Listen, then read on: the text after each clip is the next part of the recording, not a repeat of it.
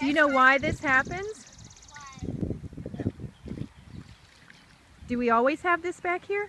No. Well, why do you think it's here today? Because their backyard flooded. And it came through a pipe, or a hole in the ground, and it comes out right that pipe. Why do you think it flooded? Because of all the rain. really hard. It was raining really hard, but when it rains really hard, does it always create this back here? No. It was raining a lot. Raining a lot, and so what happened?